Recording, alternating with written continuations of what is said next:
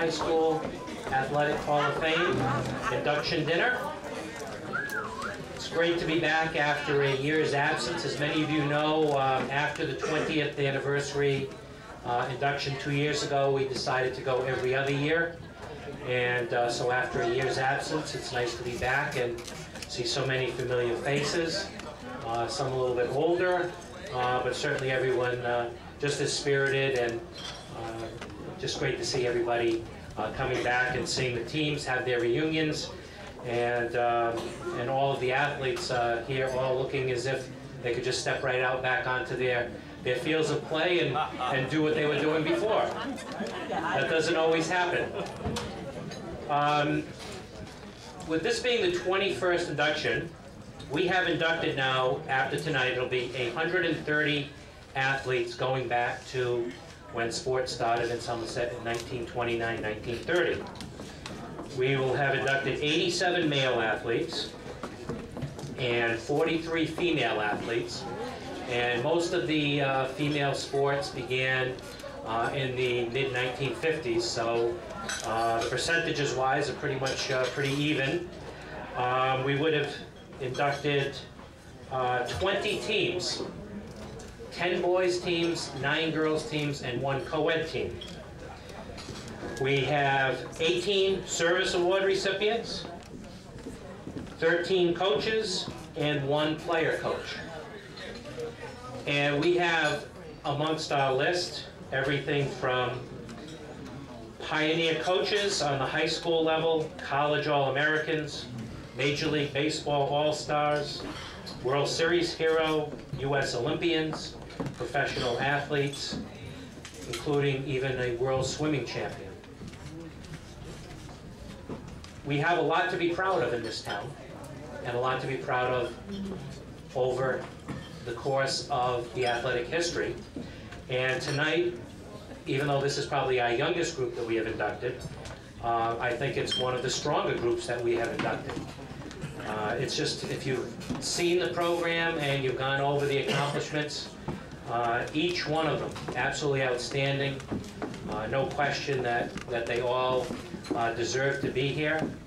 And uh, we're very, very ha happy to honor them. And um, one of the nicest things in the actual school, if you've seen the Hall of Fame, and we've done some things with it. We even have, we added a, uh, a Jerry Remy bobblehead, and uh, there's some old baseball hats in there from Remy and Gagne, and uh, the 1981 uh, uh, football team's uh, football with all the scores on it is actually in the Hall of Fame. Uh, we have the most recent, the baseball and the soccer state championship trophies are in there. And it's really nice that where the Hall of Fame is located, that when the kids are done playing sports, where do they wait for their parents to pick them up? Usually in the Hall of Fame area. And that's where the kids gravitate to. And you see the kids, they're always looking at the plaques, at the pictures. I know him, I know him, he's my neighbor, he's my uncle, that's my grandfather. And it really is something that has, I think, just because of where it's located, it's really become a tremendous thing for the school uh, to help these kids see what their actual history and traditions are in athletics and to motivate them for doing good things today. And just from talking to some of the inductees, uh, when I call them, and this is really, I think it's almost the first group that there's quite a few of them who went through the high school while the actual Hall of Fame was there. And as athletes, they used to look at the people who were in the Hall of Fame. And I know in some of the cases, they were hoping that maybe someday they would have an opportunity to join them. And for them tonight, this is their opportunity. Uh, just a couple of other quick things I want to uh, just mention. Uh, this is the 50th anniversary of the 1957 state Class B champion uh, baseball team.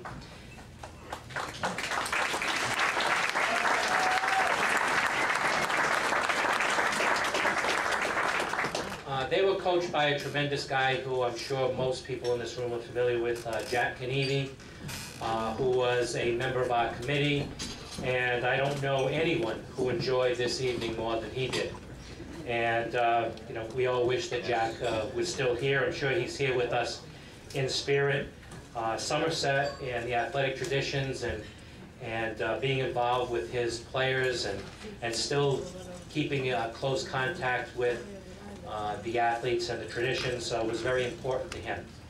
Uh, we also lost uh, a couple of weeks ago uh, inductee from the class of 1934, uh, Tom Dewhurst, also passed away recently. At this time, we're going to do what we normally do to start, and I want to introduce some of the previous inductees who are here. And we actually have two members of that 1957 team. Uh, First, we have, uh, right now, our only inducted uh, person inducted as a player and as a coach. Um, He was the shortstop and captain of that team, and also longtime Somerset hockey coach Bob Souza.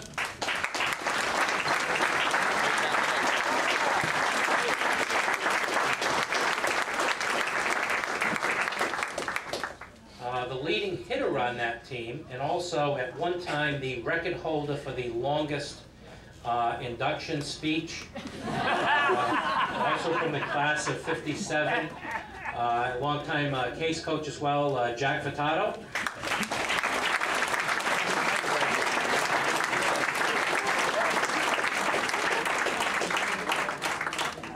The former holder on the female side for the longest induction speech in Somerset athletic history from the class of 1962, Joan Chase Carpenter.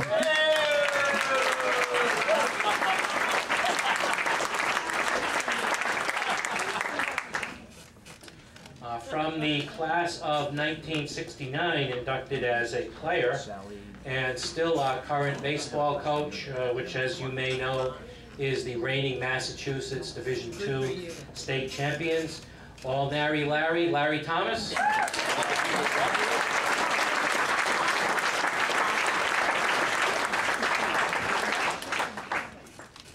Uh, We have two people who are here who are here to be part of their team induction, uh, having previously been inducted as individuals.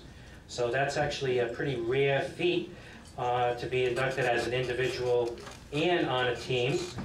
Uh, We have first uh, the pitcher and a co-captain from the uh, 81 softball team, Lisa Tebow.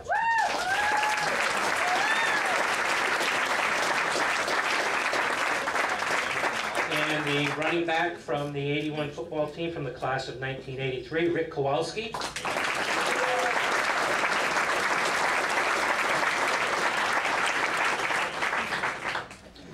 Uh, One of our coaches who is a previous inductee and still uh, a record holder for most uh, victories as a football coach in school history, Coach Ed Winslow.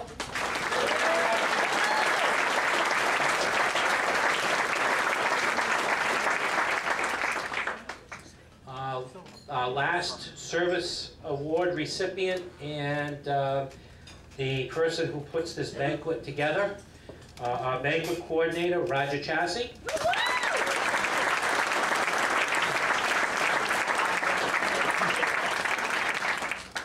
And the recipient of a special service award uh, over, well, now it's, it's uh, about 12, 13 years ago now, and uh, Somerset uh, longtime athletic director, Big Al Al Estes.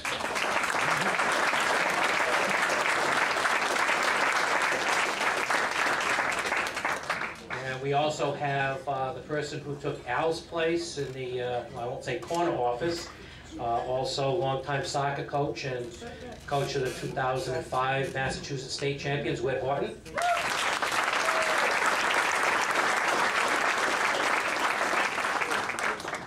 And our current athletic director, Kim Souza.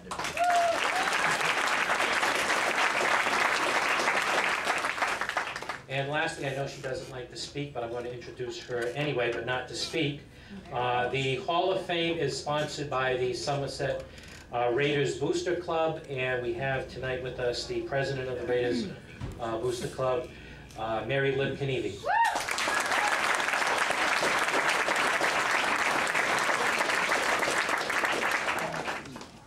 And at this time, uh, to give the welcome from the school, a member of our committee, uh, and Vice Principal, Mrs. Pauline Camara.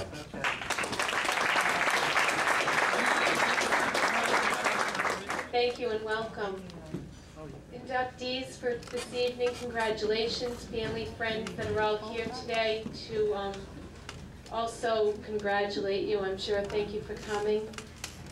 You know, everything I wanted to say, Doug just took away. I wanted to tell you that I get the chance to see every day, I have the privilege actually to see every day the students that walk through the Hall of Fame. And you know, they're waiting for a rider, they're waiting for the team to finish, they're waiting for practice to start, and they really are looking at the names, looking at the pictures, wondering if they will have the opportunity someday to be in the Hall of Fame. So, you know, it is important.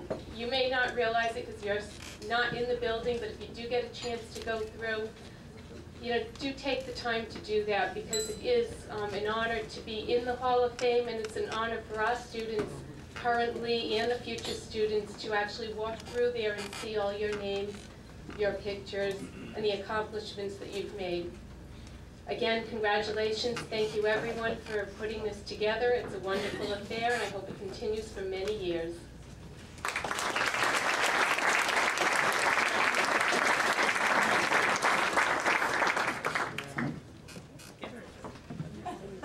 One other person who I would like to uh, introduce is a member of our committee. Uh, He's our secretary, he's manning the cameras. This will be, uh, the whole uh, ceremony will be shown on um, Comcast? Comcast? Is it now? Cable, on cable access. Um, So if you uh, somewhere down the line would like a a tape of it and you have a relative in Somerset or Swansea, I'm sure that uh, this will be shown many times on on Comcast. Uh, Bill Hall, secretary.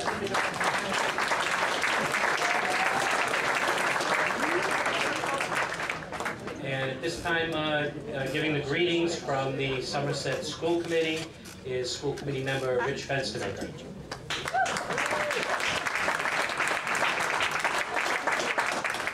Good evening, ladies and gentlemen. Uh, I too would like to uh, congratulate all the inductees here tonight. I'll tell you from my perspective, it's an honor to be here representing the school committee and school administration. This is a wonderful tradition, and I- my thanks goes to, or congratulations also goes to Mr. Chapman and- and the Hall of Fame committee that's put this together. It's a wonderful evening, wonderful tradition, and hope you all have a great night. Uh, Go Raiders.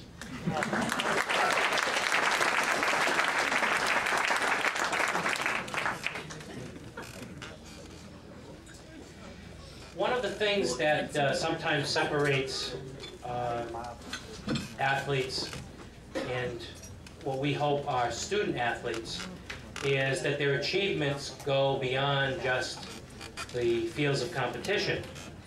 And our first inductee tonight, Steve White from the class of 1981, uh, he falls into that category of someone who was a great athlete, who would have been outstanding in any sport that he played.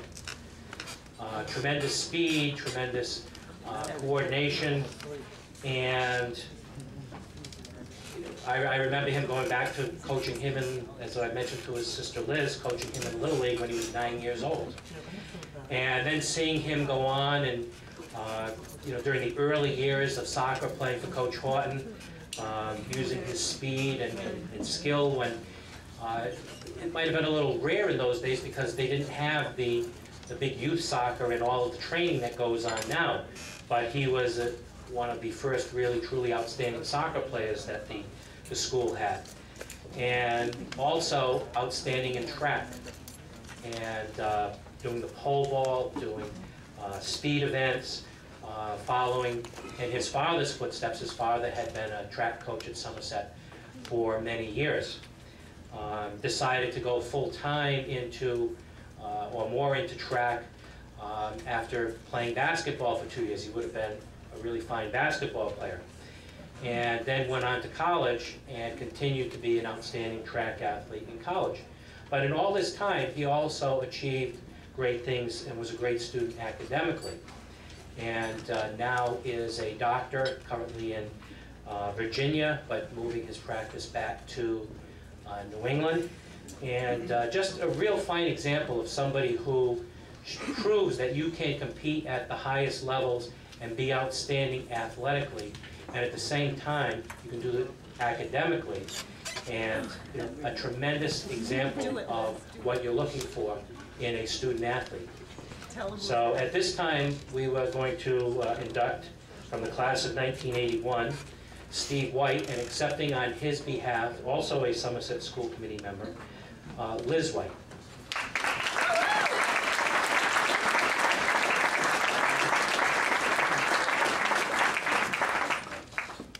Again, I have to follow Steve. Okay. Um, He did ask me just to um, read to you, he had sent along some words, and he asked me to share them with you. I would like to thank Doug Chapman and the members of the Somerset High Hall of Fame Committee for the honor of being one of the inductees into the Hall of Fame. After 25 years, I feel both proud and lucky, not to mention old. Remember, these are Steve's words. For this privilege, I also need to extend my sincere thanks to my family, in particular my mother, for her support, consideration, and nomination. For without this, I would not be here today. As I have reflected on my life and reminisced about my competitive days at Somerset High, I realize there were a plethora of events and so many people, all which aided in my development as a person and truly enabled me to achieve many things. My earliest influences, and perhaps the greatest, came from my father. He was a teacher to so many, but no one more than me. He taught me not only respect and compassion, but also perseverance and tenacity. He sparked my desire to succeed and gave me the confidence to win. Always demanded the best of yourself and your opponent. He not only taught me how to win with pride and humility, but also how to lose with grace. I have also been graced with an older brother, Chris, who served not only as an inspiration and idol, but a standard to which I would push myself to reach. He always encouraged and never once held me back. My entire family, in one way or another, has always been my inspiration and center, including today. I have been blessed with a beautiful wife, Cynthia, the true center of my world, and four beautiful children, Margaret, 16, Amanda, 10, Philip, 6, and Anthony, 2. I continue to teach and encourage my children with many of the ideals and lessons I developed as an athlete at Somerset High, with the help of my family, colleagues, and coaches. There have been so many coaches over the years, a couple who have had a particularly strong influence on my development and success. Coach Whit Horton, soccer, Coach Fran Brow, track, and of course, my minor league baseball coach, Doug Chapman. I will never forget Coach Horton's prayers before games, or the end of the year barbecue at his home. The burgers were still moving. Coach Horton loved us and pushed us as a team to never quit and always play, not only to the best of our ability, but with all our heart. He entrusted me with the privilege of being his team captain in my senior year, and always had the utmost confidence in me and my teammates. I have many fond memories of my soccer days, some filled with laughter, some tears, but all with a driven emotion to compete and win. Then there was Fran Brow. As a coach, he was the best and my greatest inspiration. He possessed a gift of always being able to inspire me to push just a little harder, to always go one step faster or one inch higher, and achieve a personal best. Coach Brow taught me inspiration and set the example of a winner. There is something magical about so many hours of fun and pain training for the chance to prove yourself as an individual while still being part of a team which develops a bond, a love for one's coach and friends. My life has truly been blessed. Today I see the effects of those early years, some of the best of my life. The faces and experiences all have contributed to who I am today. I am a son and a physician, a husband and a father. As I face and endure the many trials in my life, I reflect on my years at Somerset High and remember all the special people and moments I have enjoyed, and it gives me strength. So as I stand here today, proud and privileged, I would like to thank all of you, not only for this moment, but for the moments and memories.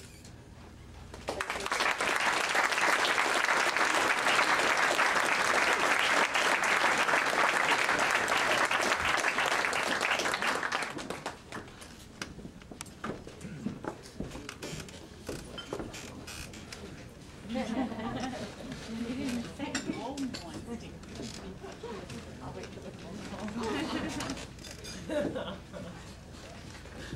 one of things that really separates, I think, the list when you look at previous inductees is how many of the people who have been inducted as athletes decided that they wanted to stay in athletics and go into coaching. And how many of them have turned out to be outstanding coaches, not just at Somerset, but at Dartmouth and at Westport, and Dighton Rehoboth, and Seekonk, and Diamond, and New Bedford, and Falmouth, and uh, in New Hampshire, and in Florida, and all over the place. And our next inductee uh, is doing just that. But before that, she had to make her mark as an athlete, first at Somerset, where she was an outstanding softball player. Uh, She was an outstanding catcher and also played third base. And basically, she could play wherever you wanted or needed her. Uh, And you certainly wanted her in the lineup uh, because she had a great bat, uh, but also had the versatility to play anywhere. And Coach Ken Day, uh, you know, used her at catcher and at third base, and um, certainly she was an outstanding player for the Raiders, um, and won the EAC batting title as a senior. Also, uh, her athletic ability uh, allowed her to be an outstanding track athlete during the winter. And she was an all-star for Coach Bernardo. And she went on to Boston University, where her versatility again paid off, where she could play multiple positions, including catcher, which is one of the most difficult positions. And she was an America East All-Star. She played in four conference championship games in college, winning two, and was an all-tournament selection as a senior.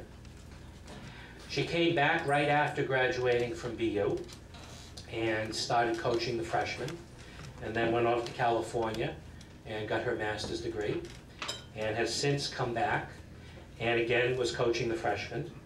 And then when Mr. Day stepped down to become vice principal uh, at the junior high school, uh, she was prepared to take over, and she is now carrying on the great tradition of Somerset softball, which goes back through Mr. Day and Cindy DeCosta and Mary Jane Keys and Kathy Goodwin, and then all the way back to the beginning with Coach Frank Cochran. So she is carrying on a legacy, but it was a legacy that she actually started as a player, uh, took with her to college, and everybody knows that I'm always in favor of anybody who has that Raider Terrier combination. Um, and now uh, is, is bringing uh, all of that uh, back to the girls of Somerset as our head softball coach. So this time, we're very pleased to induct from the class of 1993, Sally Gamache.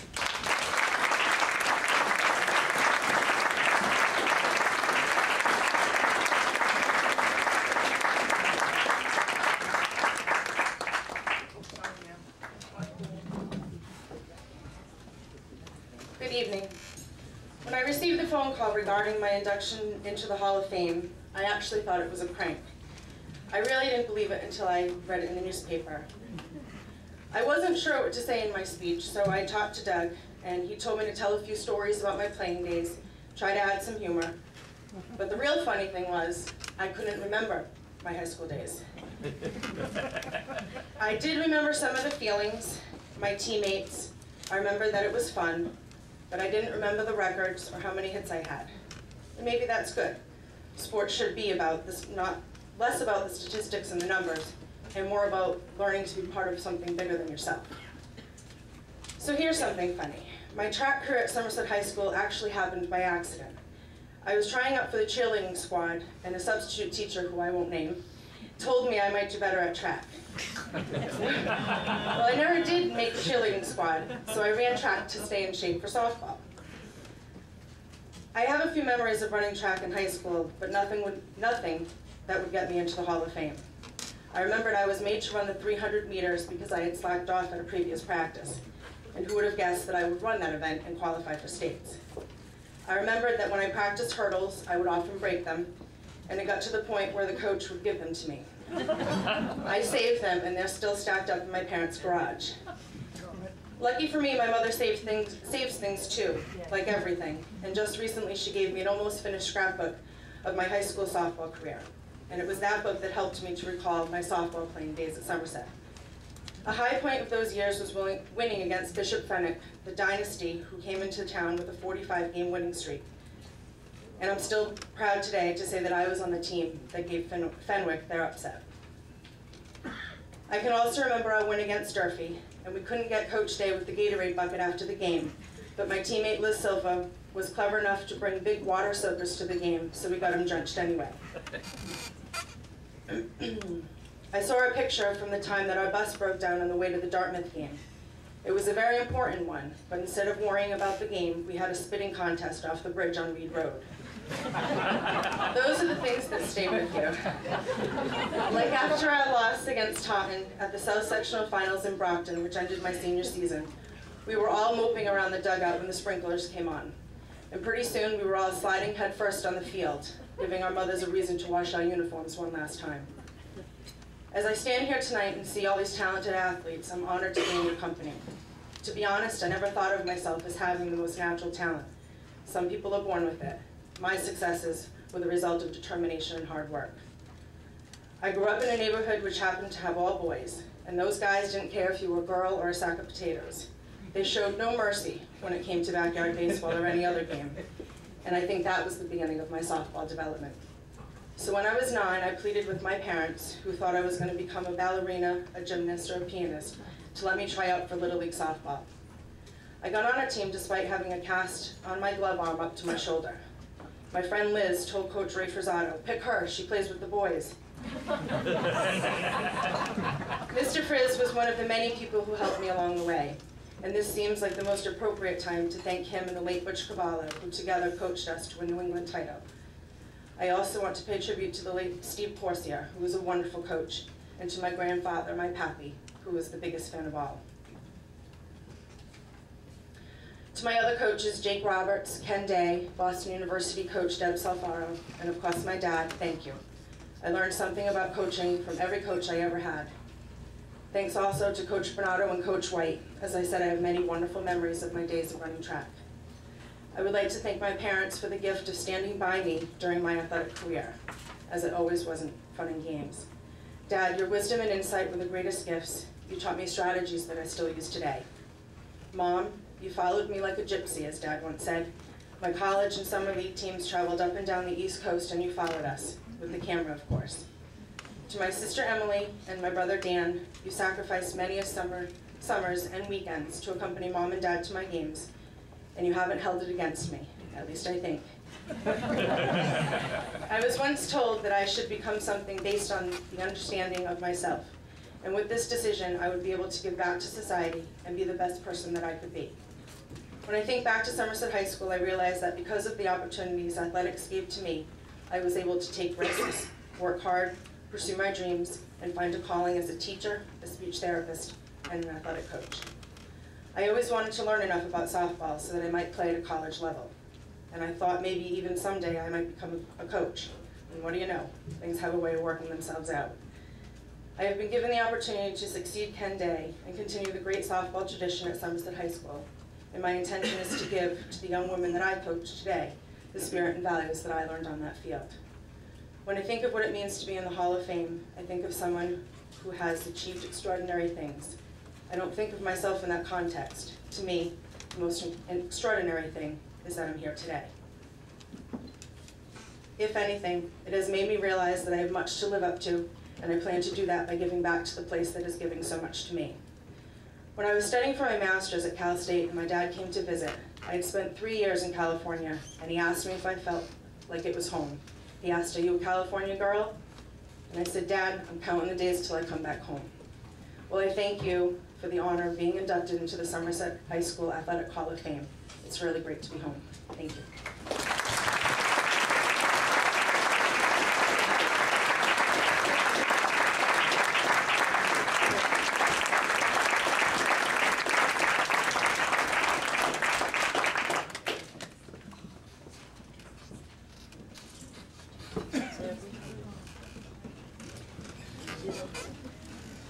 The Hall of Fame committee has about, somewhere in the neighborhood of about 145 names in nomination on our list.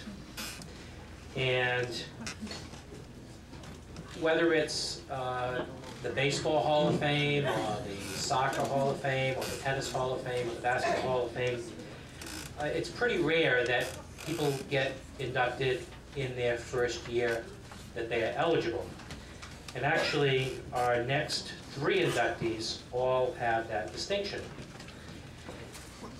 And our next inductee, I think it's fair to say, um, because, as someone who's spent a lot of time in newspapers and the media, myself, uh, the whole time that she was in high school, I don't know how many different stories would all say, well, in 10 years, she'll be in the Hall of Fame.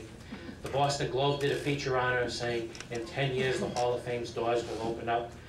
Uh, Tim Geary would call me and say, well, she's a shoe and she's going to get in, isn't she? And to be honest, you know, you have to, you have to try and um, be as straight as possible, but you can't be saying things like, oh yeah, she'll definitely get in, because you don't know what's going to happen. And, uh, but this was like a constant. And actually, because we skipped a year, it's actually 11 years. But, so they were all wrong. So the media being wrong, that doesn't happen too often, I guess, right, George? Okay. But uh, there was no question. When you- When you look at, uh, you know, we- we're talking baseball, you're talking about Willie Mays and Ted Williams and and Babe Ruth, or tennis, and Pete Sampras who's going into the Tennis Hall of Fame this year.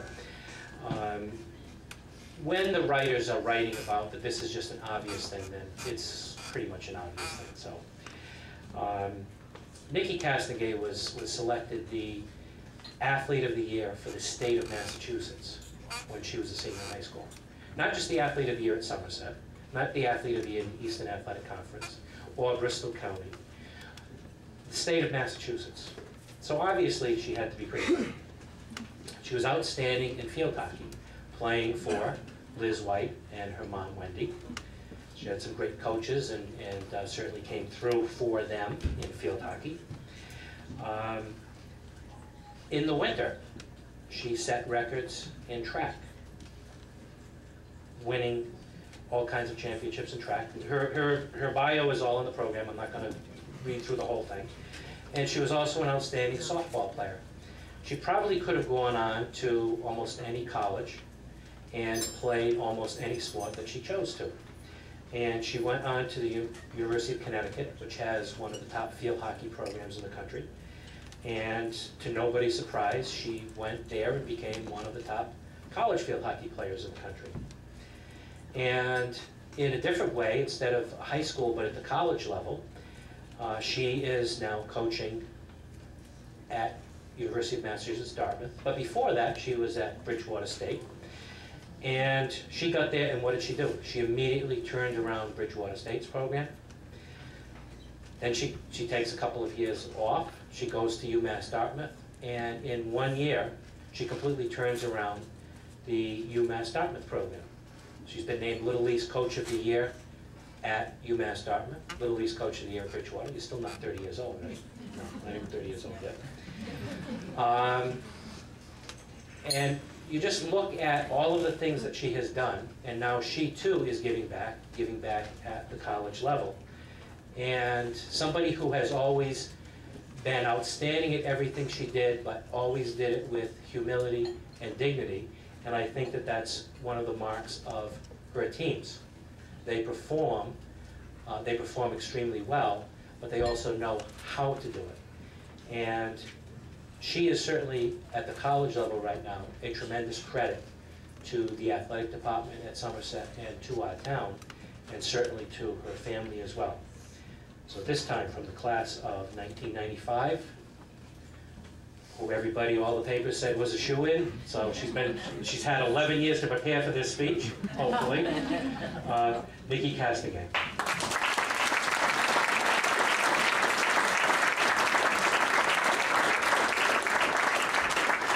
Does this have a lift on it? I have a big mouth, so thank you guys so much. I can't even tell you how much support I've gotten from the town. Cards, I don't know how everybody gets my address, but somehow they end up at my doorstep and literally had probably three cards the day after I found out, so obviously the mail's doing, the post office is doing well too. Um, there are so many things that I kind of jotted down and now seeing all the familiar faces, it just kind of puts me at ease to say, thanks and who I want to thank and coaches and all the football players in the back. So you're drinking your beer, so I'll be short. Um, Thank you to the Hall of Fame Committee, Mr. Chapman and Mr. Chassie. I know how much work it takes to put something together, so thank you for putting this all together. Um, I'm just gonna go back to where I came from with athletics, because I think a lot of people assume that I've always been a tomboy and running around, but to tell you the truth, I've gone through a few awkward phases, as my family can, uh, I wanted to do everything that I saw, okay? So whether it was taking ballet, that lasted a day, okay? Then I tried violin, not so hot, okay? And I thank my parents for trying to listen to me and my grandparents playing the violin. I had a dog and its ears would just completely go up. So wasn't the musician, wasn't the dancer. Um, tried modeling, okay, and that really, when I went into to high school, that wasn't the in thing to do. So I got picked on my whole freshman year on the field hockey team. Had to play with Miss, Mr. Thomas's uh, daughter Colby, Jen Dopar, Andrea Cabral, Kim Souza, who were all, I was like a deer in the headlights playing with them. And Sue Kerr, who was a coach at the time, I was this little waif running down the field with like gazelle legs out to here. She'd go, don't break a nail. So I quickly decided to give up the modeling thing and stuck with what I was probably best at. So it was a, it was a good idea for everybody at the time. Um, from there, I had so many great coaches, friends, and everything that I had, all the accomplishments I had, I know it sounds modest, but it really is from who I was surrounded by.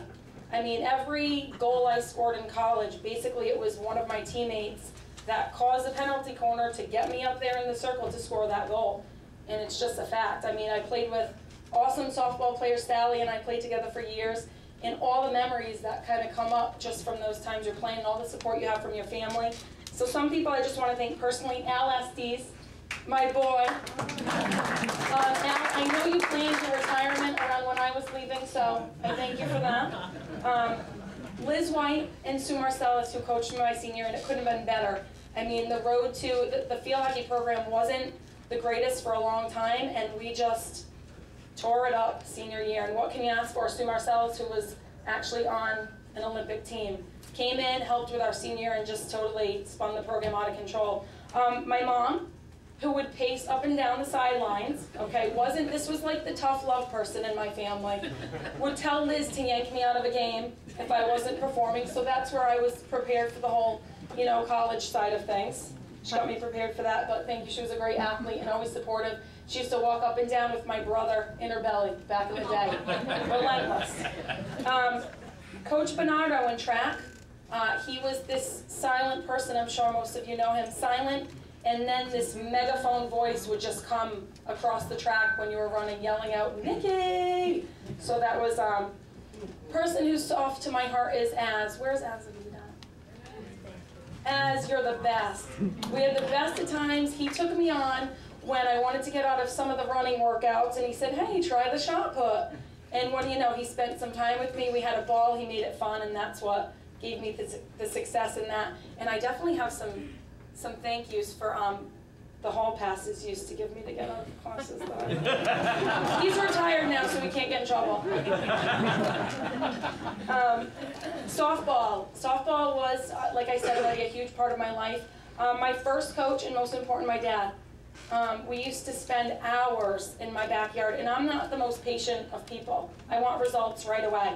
And my dad used to just play catch with me for hours and throw the ball, then he'd make me back up 10 yards and throw it some more, and then I ended up with an arm and a half, and it's because of my dad. He taught me patience with the sport.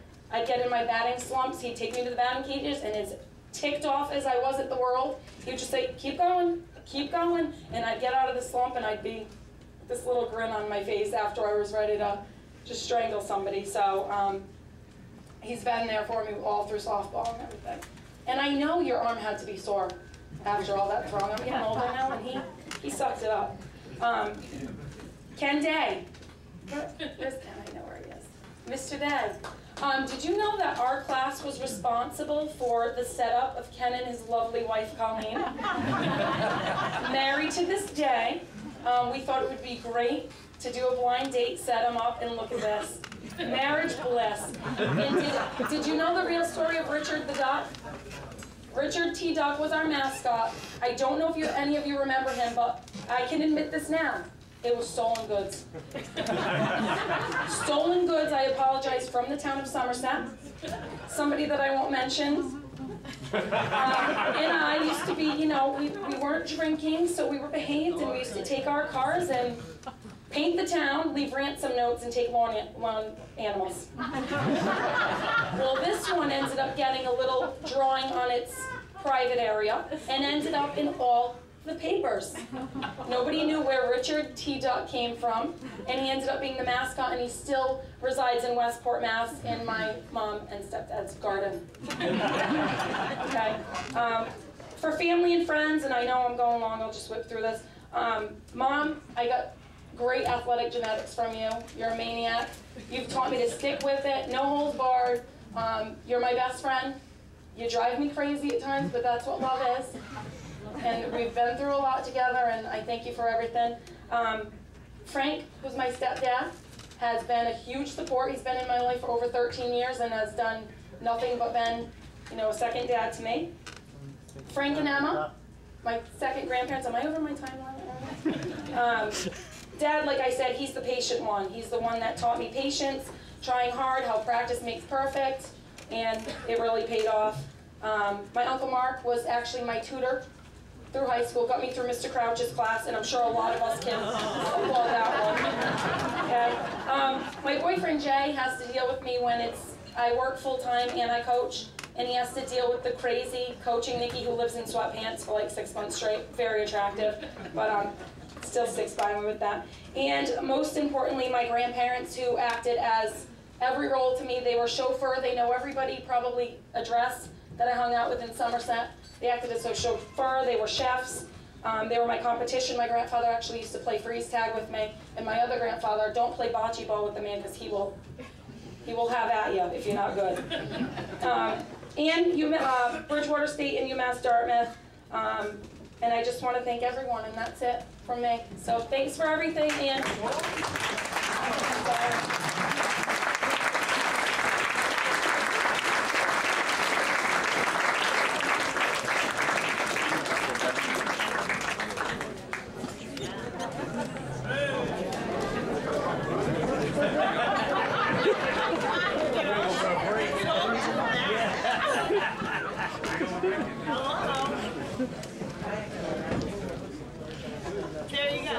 We've never had an intermission before. Think you drive them all out? I didn't even finish. No, no, you finished. See, 11 years ago. I was trying to uh, see if uh, Mr. Fenstermaker or knew when we, uh, Somerset, started the collaboration with the town of Berkeley. And we came up with around 1988. And our next inductee is actually our first inductee, who is from the town of Berkeley, who came to Somerset with that group of uh, Berkeley students. And um, it's not easy to uh, play sometimes two, three sports, and uh, you're waiting for rides home. Um, you know, it, it, there's a lot of things that are involved in that, as all athletes know, and it makes it even more difficult when you're not even in the same town. Uh, but he played three sports, and uh, two of them he was actually outstanding in. Uh, probably one of the best all-around football players we have had in many, many years. Uh, he was a running back who could uh, turn it to the outside or go up the middle and pick up whatever kind of yardage was needed. He could throw the ball, he could punt it, he could kick it, uh, outstanding uh, place kicker, he could play on defense. Uh, basically, whatever it took, um, he was the guy in those days in football. Tremendous football player. Uh, also, pretty much the same thing in baseball. Outstanding hitter, uh, outstanding fielder, uh, a field general um, on the baseball field. And he also played basketball. And he was, I think he would admit, he was an athlete playing basketball. But uh, he turned himself into a good basketball player, a solid contributor, um, and, uh, and started in basketball as well. So uh, where, where Nikki Castagay was the female athlete of the year in that class, he was the male athlete of the year in that class. And he went on to college, he went to Massasoit and went to Suffolk and earned All-American honors in baseball. And then I come to find out that his senior year, he tells me, he played tennis. And that he could have played tennis all along. So Larry, if he wasn't such a great hitter, maybe he could have played for me.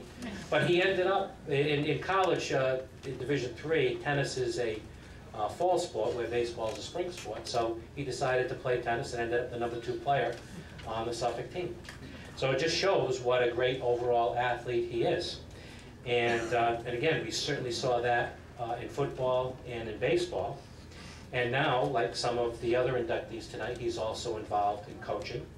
And he coached with Jimmy Pereira over at Seekonk last year and then made the move uh, to Diman where he's with uh, Jimmy and, and Rick Vickery. Rick, uh, former Somerset longtime assistant football coach, now the head football coach bringing football back to Diman. Rick, just Rick's in the corner over here.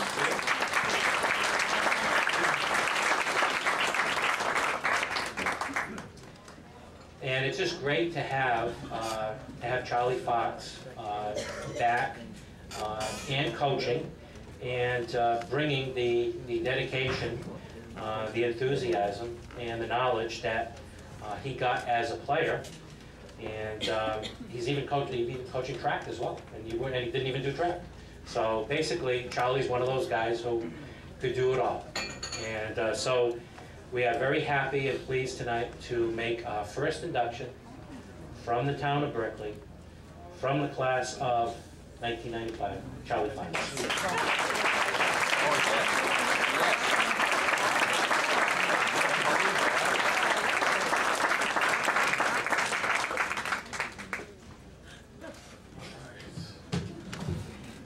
My first um, funny thing, I guess, would be, um, this is my speech.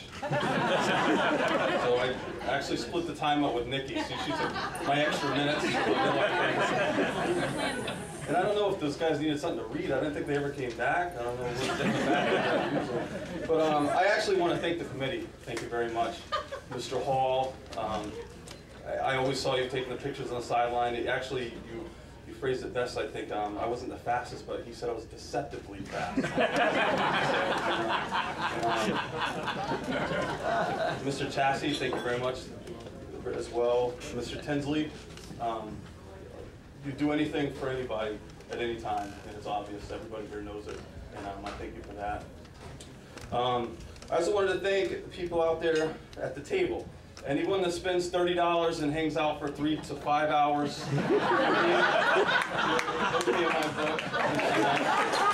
Um,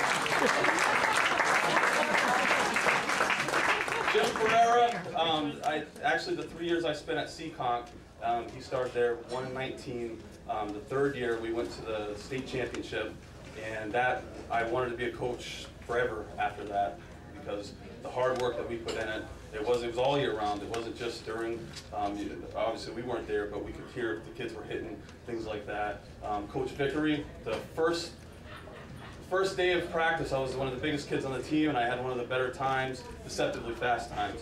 And um, he said, "Oh, can you kick?" And I, I played soccer, so he held the ball, and I kicked a 40-yard field goal, first ball I ever kicked. And uh, he, just like today, uh, right away the next day, he had Coach Coach Wright out there, um, and I was trying out for the varsity.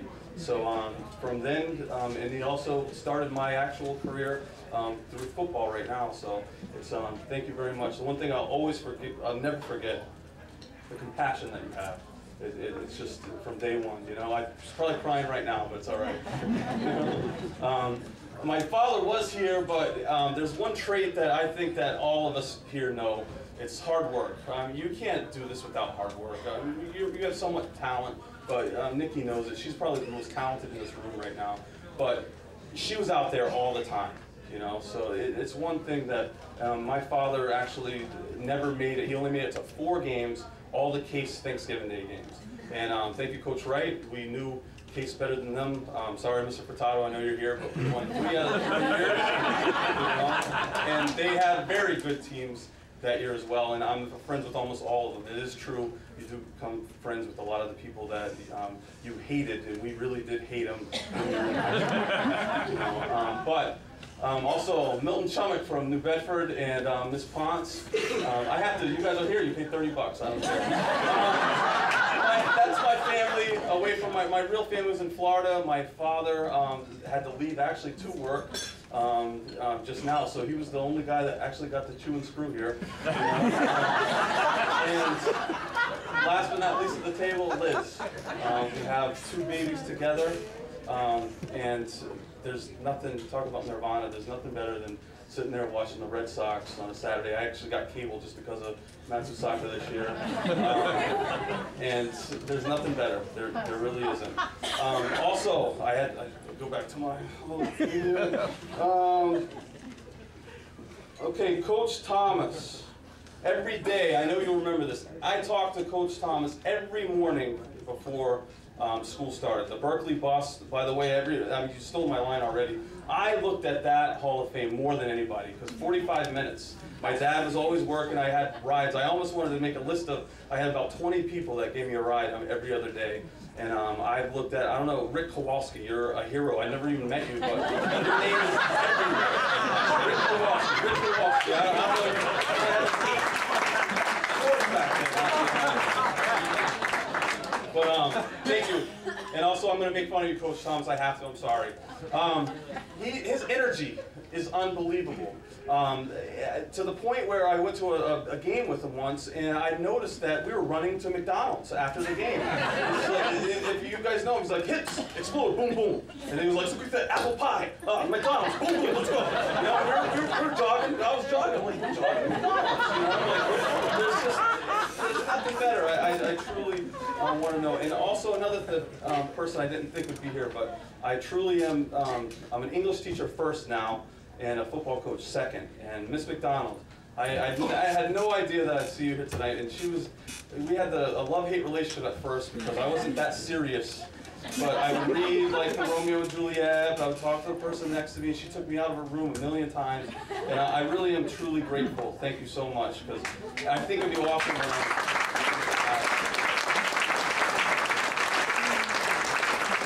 And other than that, I just want, it's just great to be in a room with so many great, fine athletes, you know, um, truly. Um, Mr. Barra, thank you.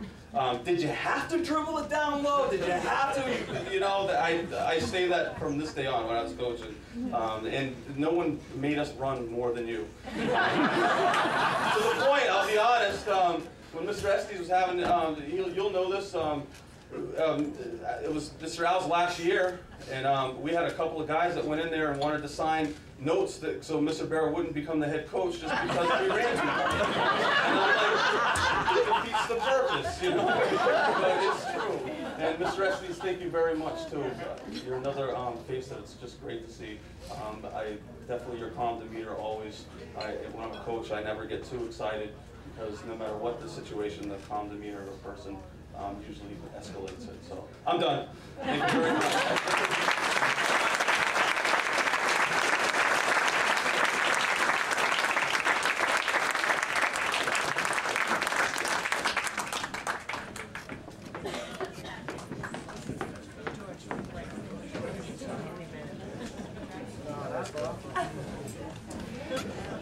One of the uh, actual problems today with the sport of ice hockey at the National Hockey League level and at the uh, college level is that there are a lot of complaints that there is not enough scoring.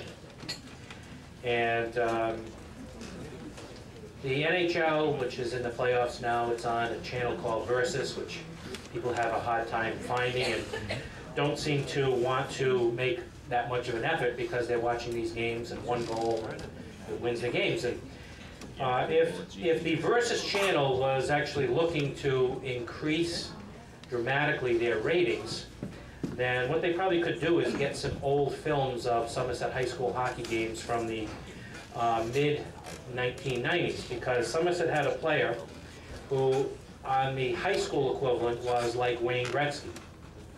And he was instant offense. And it didn't matter who they played, there was no stopping him. And many people in here might remember that uh, in 1978, we had a player named Ronnie Marcellus who set the uh, state high school career scoring record. And Nate Taylor pretty much reached that record in three years and broke the record and actually also broke his leg. And if he hadn't broken his leg, he might have gotten to 300 points.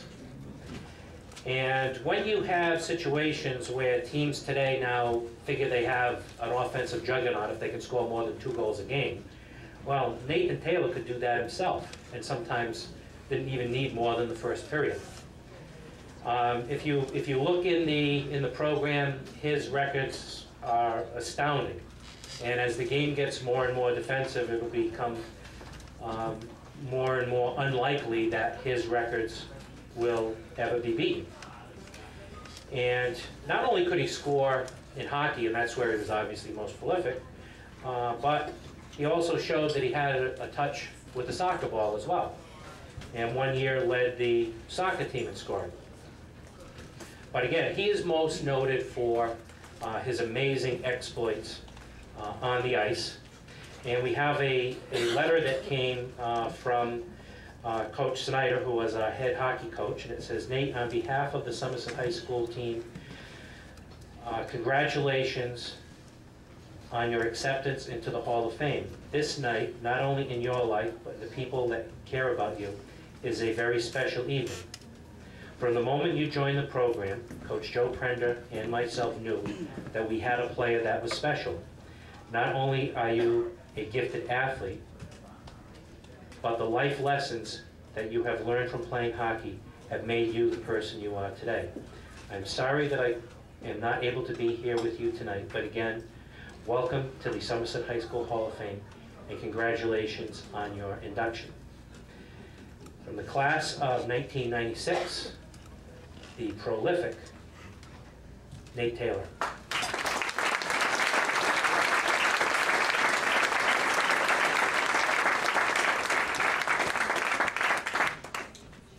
Thank you, Doug. Thank you, everybody. It's a great honor to be here in front of all of you. Um, First, I'd like to thank the election committee for uh, bestowing the great honor of becoming a Hall of Fame member. Really is a great honor to be included with such great athletes and coaches of all of Somerset. Um, I'd also like to congratulate all the other 2007 inductees, um, especially Charlie and Nikki, who I was able to watch play their respective sports, but also had the pleasure of knowing away from sports. It really was a great honor, so thank you. I'd also like to thank my parents, obviously. Um, Without them, this day certainly wouldn't have been possible. Um, For 18-plus years, their lives pretty much revolved around my brother and I, which meant it revolved around hockey. That was what we did, I wouldn't have changed anything for the world. Um, My brother and I were usually on different teams, which meant my mother was going to one rink and I was, my father was going to another rink. So that was pretty much their life, one rink to another rink. And that was the only time either of them would miss a game, was when they were at my brother's game. Um, I can't thank my parents enough for everything they did for me growing up, and still do to this day. Uh, last week, I had to put a swing set together, which uh, I'm not known as much of a handy guy, so I had to have my father over there put that together for me so my kid didn't fall off and break his neck. Um, And uh, I'd also like to thank my brother. Um, he was like my personal bodyguard on and off the ice.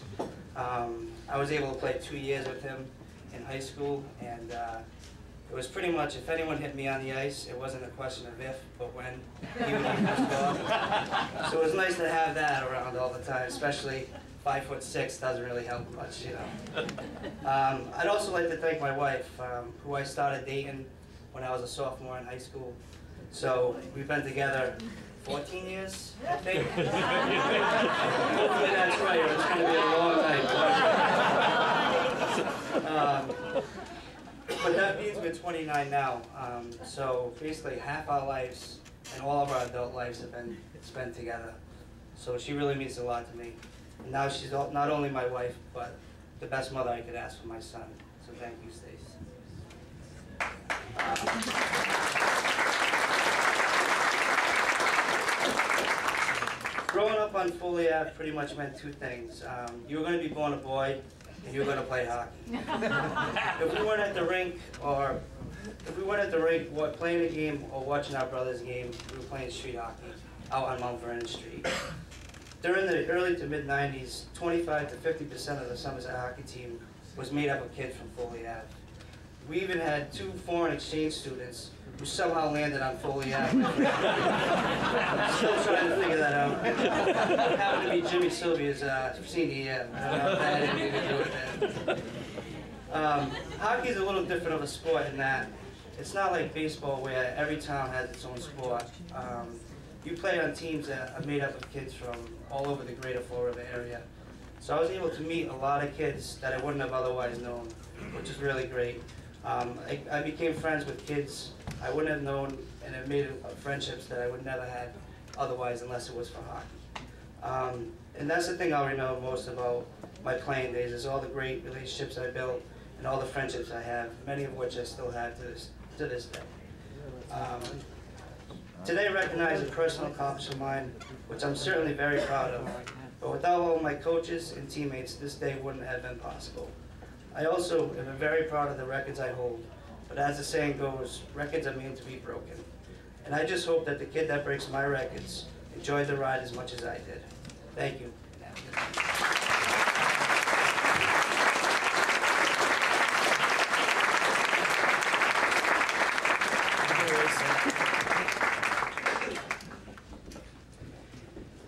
Uh, Coming up next, we have our service award recipient. And I'm going to tell a little story first. Now, I introduced uh, Jack Furtado as a record holder for the longest speech for male until it was broken. And I introduced Joan Carpenter as the longest speech for female. But the person who actually had the longest speech is a coach on the 1981 football team who unfortunately is not here tonight. And that's Coach T, Bobby Tavares. And he gave the longest speech in the history of the Hall of Fame. It was so long that I had to put him physically into his seat. He tried to get up and speak again. I grabbed him and put him back in his seat physically and got a standing ovation. And there is one person who is the person who is responsible for that speech. And that was Coach Tinsley. Now, the inductees tonight will tell you that I do send them a little information and give them, we don't say that you have to keep your speech within a certain amount of time, but we give a suggested amount of time. And usually it's between about three and a half and seven minutes is what's considered a, a good time. And Bobby's introduction went longer than that. And when, when the evening was done, and I said, I gave you a list and told you how long it should be. He says, oh yeah, he goes, but I was talking to Tinsley, and Tinsley told me, it's okay, you can talk as long as you want. Now, what made that even worse was that Tinsley didn't even attend that banquet. It was the one that he missed. So he's coaching JV baseball all the time, and I grab him and I say, what are you doing? I said, do you know what you created? You created this Bobby Tavares monster that just went on and on and on about this speech. So he will tell you, he will admit to this, since we taped these, I forced him to watch Bobby's speech. Every minute of it. Twice. So, assuming that that is a lesson to him, then hopefully he will be much briefer. But I do want to say this before he comes up here. There is a tremendous spirit in athletics, and I'm hoping that the Hall of Fame captures that spirit and tradition. And one of the people on our committee, somebody who I've had a tremendous amount of fun working with, somebody who really embodies that spirit is Dick Tinsley. He loves Somerset. He loves athletics. He loves being a part of it. He still wants to be a part of it to this day. When he's back from Florida, he's at games. When he's in Florida, he wants to know what's going on. He knows the scores of the basketball game sometime before the kids even get back to, uh, to Somerset from the bus. He really and truly embodies the spirit of what athletics in Somerset is all about. And it's because I think he got that growing up in Somerset on the playgrounds, playing sports at Somerset, being involved with some great coaches over the years, both as a player and then as an assistant coach. And no matter what the sport was, he was always willing to coach it and did a great job at it. He even coached, he coached football, they got, Al Estes got to coach football. Uh, he did many, many years in uh, baseball with Coach Sullivan, Coach Thomas. Um, I think that almost every basketball coach, probably except for Spokesfield and Budaki in basketball, either played for or coached with. And tonight's service award really goes to somebody who, to me, is the epitome of what the service award is all about. Somebody who donates his time, somebody who has been a member of this committee, somebody who looks up all the records of all of the athletes. I told you we have about 145 names. He's done dossiers on every one of them. So when I get a call and say, hey, how come so-and-so didn't get in? And I open up the list and say, well, he batted 153 in uh, 1962, then we've got the answers. So he's actually made my job a lot easier. But the key thing is, he's made it a lot more fun. Not just for me, not just for the committee, but for all of the athletes and the students over the years, the many years that he has touched in the town of Somerset.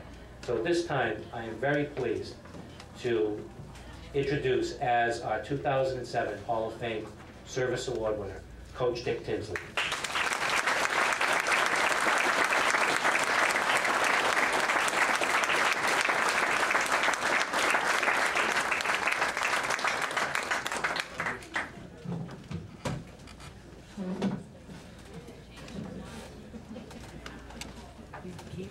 So there goes my 23 pages of these. I've got to cut them down a little bit. Um, I don't know if this was on purpose to save me until last, the old guy. You know, um, when he talked about the youngest group of inductees, I'm sure he was looking towards me as one of the inductees that were young. I don't think so, Doug. By the way, uh, this Bobby Tavares thing, I want you, I want to set this record straight in front of everybody. I merely told him to speak from the heart, and I can't help it if Bobby's got a big heart. You know?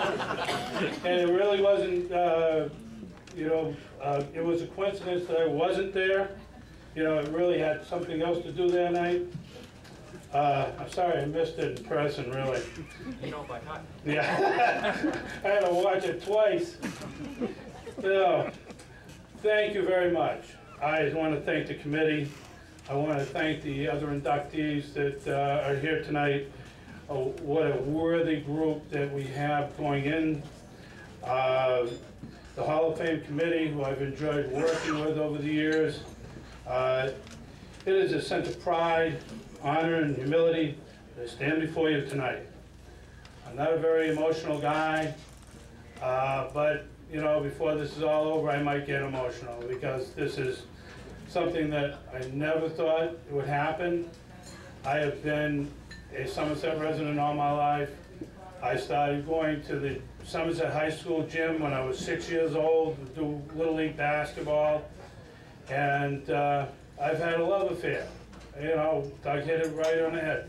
I've had a love affair for Somerset, for this town, for the people in this town, for the athletics in this town, since I watched a 1956 game. Yes, I am that old. Earl Dennis, basketball game, Somerset High School gym, sudden death game, hit a foul shot to beat Holy Family in, in the last um, uh, sudden death game ever played at Somerset. At that point, I was sitting in the bleachers. I could tell you where I was sitting in the bleachers that night. And I could tell you that emotionally, I was sitting there and I was drained. I was, I was nine, ten years old. It, it, it was just amazing. The lightning that was in that gym, I don't know if anybody, Bobby Souza was probably there, but, uh, he was always there.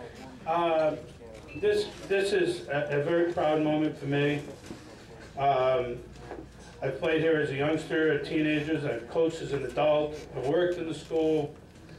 I, I, now going into a situation when I can walk into that Hall of Fame area and I can see my former coaches, I can see people I've played with, people I've coached, and now I can see Mick. And that, you don't know what an honor that's gonna be for me to do that, and I thank you all. Uh, But I would be remiss to, to not tell you that the real Hall of Famer is sitting over that table right there. That lady has let me go for my dreams, do things that I wanted to do. You know, the 11 o'clock suppers that were there when, because of basketball games, the um, three or four games a week when we had rainouts, and uh, the three sports that I coached uh, for five years. I, I did three, football, basketball, and baseball. I would go away and I, I'd do summer camps, six weeks of summer camps. I enjoyed it. And, and real Hall of Famer, if it wasn't for her, I, I, I wouldn't have been able to do it. And I want to thank you from the bottom of my heart.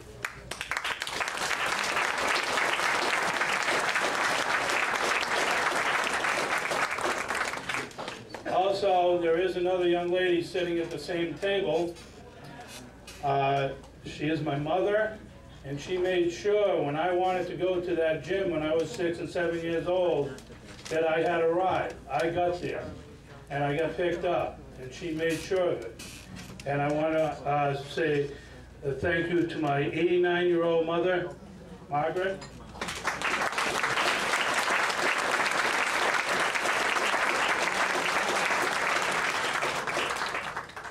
Thank you very much.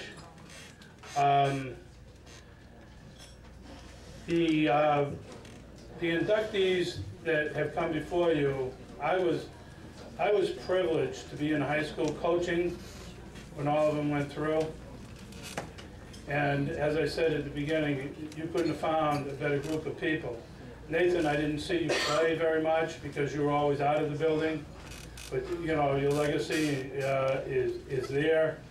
I know how hard you worked, I know what kind of person you were, and uh, you should be very proud. The ladies, we had a lot of fun, we had a lot of laughs. Uh, They were not, uh, they were not, I was not a, a- a female uh, athletic coach, but I do appreciate the uh, athleticism and the uh, abilities of these uh, two young ladies. It was- You're just fantastic, fantastic people. Charlie Fox, beautiful. Charlie, you're absolutely beautiful. You're beautiful from head to toe. You know, if you can make the ideal person, the ideal athlete, the ideal person you wanted in, in and around you, it was Charlie Fox. You never heard Charlie cuss, never heard Charlie, Charlie complain, make excuses, or anything else. Charlie just went out and played the game because he loved it. He loved being there. And I'm gonna tell you my Charlie Fox story, okay? You know, Doug said to, to put a little humor in this. I I find it too emotional to do humor. I was always a humorous guy. Uh, I always had the jokes and everything else. Tonight is not a joke. Charlie, one day, if you can picture this, I'm going Low Road in Dayton, you know, the Dayton Yacht Club. One day, I'm just driving down and I see this person walking. I said, geez, that's Charlie Fox. So I pull over and I said, Charlie, we're going? So I'm going home. I said, Well, where do you live? He said, Padelford Street. I said, Charlie, get in the car. You know, I'll give you a ride. He gets in the car, I said, you know, where saw I just couldn't get a ride. This is a Saturday afternoon. So I drove I, you know, turn on Padelford Street, go over little bridge, over Padelford, again, driving, driving, Charlie, where? Oh, a little further, a little further, he says. I go, go to the end of Padelford. I go, where do I go, right or left? He says, keep going straight. There's a little, uh, dirt road up, the, up ahead. So, I said, wait a minute. I said, you were gonna walk this? I said, I've done it before, it's not a big deal. You know, he was coming from practice. He had no place, no ride home. The, uh, the Faisal brothers took off on you. So the Faisals under the bus, I said. And, and I can't believe that, that a person would care enough to play a sport, multiple sports, and with the dedication to, this is how we get home. If it took him three hours to walk home, that was fine with him, because he would be there the next day, never missed a practice. That's what, that's what this is all about, ladies and gentlemen, this is why we're here, because these people should be honored. Stephen White, I had never had the pleasure of seeing Stephen play, but I will tell you, Liz, Ellie, that I, that Jim was my coach for two years as a JV player, and he was wonderful. I learned a lot from him. Uh, you know, maybe not basketball because he had a lot, he had a tough thing to do, work with me with basketball, but, you know, in, in- in life and as a person, and I never forgot it, we had a lot of talks when he was in, when I was working in school and and everything else, and I never forgot. Ellie worked on me a few times, still got a little broken finger here from, uh, from my coaching days. Uh, So, all these people really have an impact on the next generation. I'm old, they saved me till last, I, I put in my time. I love the, the idea that these special people are now, you know, not only doctors, but coaches and teaching the next generation of children how to play the sports and play it right. Thank you. Thank you.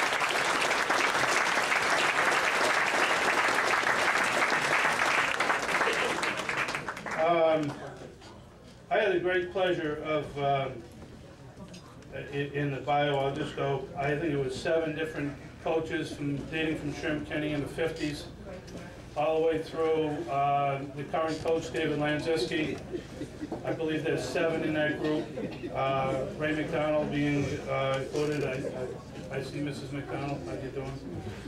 Um, uh, it, it's, it, it's a, from 1950, 58, 57, 58, all the way to the current, I, I've been able to know every one of these coaches, not only play for them, but coach with them, or in David uh, Lanziski's case, David played for me and now is coaching.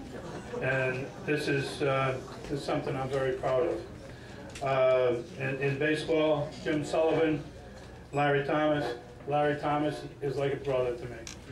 I've been 17 years with him, and there isn't a finer person that you could put your child with than Larry Thomas. And Larry, thank you very much for tolerating me all those years. He still, you know, he's a glutton for punishment. He still opens the door and lets me in when I come back from Florida to, to sit in the dugout and act like I'm busy and I know something, and I do appreciate that. Uh, Mr. Souza, where's Mr. Souza? Mr. Souza left? He's sleeping. Hey, Bobby, wake up. There's one guy in here older than me. Okay, Bobby Souza. I go back to the mid-fifties when Bobby was at the Pierce uh, recreational program, and uh, he had me for one year and then decided to give it up. Uh, It was, a, uh, that was uh, many years ago, Bobby, and I thank you for your input into- my life, and he's, he's still in my life. Um, I, I want to in close, closing, um, thank a few other people. Uh, Wood Horton, who was, uh, uh, phys ed and, uh, uh, AD, Al Estes, who gave me my first job. Now, I know you regret it, but, uh, you know, no, he, um, uh, he basically started me on the, um, as a, I got hired as a JV basketball coach, or freshman basketball coach. I, I went to school and my, my sit-down interview with him, I said to him, I said, by the way, Al, how many uh, thousand-point scorers has Somerset ever had? And he goes to me, he says, oh, don't keep that kind of records. So Al, you started me on this crusade that, uh, you know, not knowing, but you started me on this crusade. And then, three or four years later, he called me up on a Saturday afternoon, he says, hey, and I only started basketball, he said, hey Dick, what's the record for most touchdowns by a football player in a game? I said, geez, I don't know, Al. He said, well, uh, uh, Mike Bronner, I believe, scored four touchdowns in a game, and he wanted to know, and I said, well, geez, I might as well start doing football too, because then when I, I did the baseball, My first, my first uh, basketball coach, John O'Brien, who uh, went on to Stang, and the gym is named after, after him at Stang. And uh, Harry Donahue, who uh, gave me the opportunity to uh, coach at the middle school. I want to thank you all. This is the biggest honor of my life, and uh, I'll, I'll make you proud. Thank you.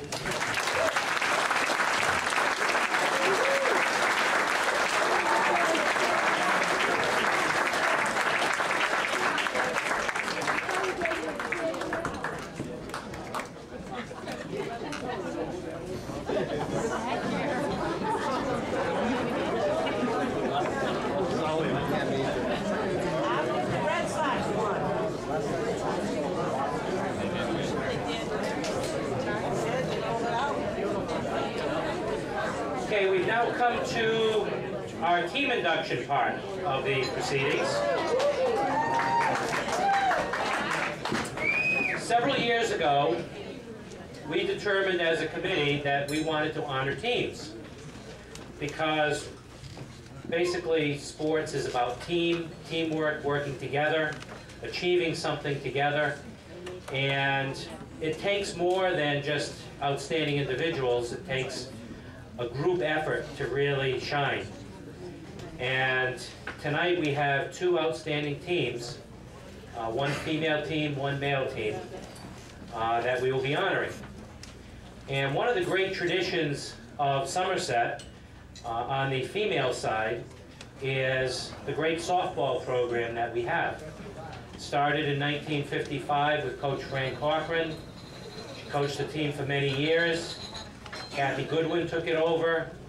Then from Kathy Goodwin, it went to Mary Jane Keys, to Cindy DeCosta, to Ken Day, and now to Sally Gamache. And during her tenure at Somerset, Mrs. Keys had outstanding teams every year. And it was around that time, just after, around the time of Sue Marcellus, uh, in the mid-'70s, when girls' sports finally started getting some coverage and finally started getting some credit. And so it was at this time that people started to learn more and more about the outstanding exploits of our female teams. And one of the outstanding teams of that era, unquestionably, was the 1981 softball team that won SMC Division One. Uh, was the best softball team in the area. Uh, ended up with a uh, 21 and 2 record. Uh, and just outstanding from top to bottom. They hit, they fielded, they had great pitching. Uh, I remember going to quite a few of their games. And um, it was exactly what you want. It was a real team. The players pulled together, they worked together, they were unselfish. And a lot of that was a tribute to uh, not only the coaching, but the fun they had uh, with Mrs. Keys. And uh, we're thrilled that she came up from uh, Naples, Florida for this to see her team. And we're thrilled that so many of the girls uh, have come back. So at this time, I'd like to call up the coach of the champion 1981 softball team, Mrs. Mary Jane Keys.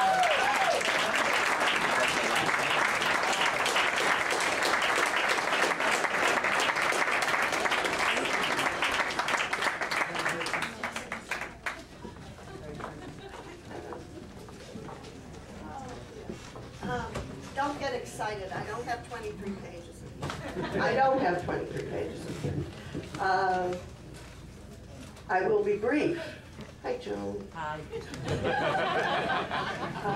And I'm sure at this stage of the game, you'll be happy that I'm brief. First of all, I do want to say I'm very glad to be part of this well-deserved and very appreciated honor for my ladies. I've written this short speech many times in my head, and I've written many notes as well, and my ladies know about my notes. Um, and the, the team will remember my list, excuse me. and my notes, practices, timelines for all drills, batting situations, etc.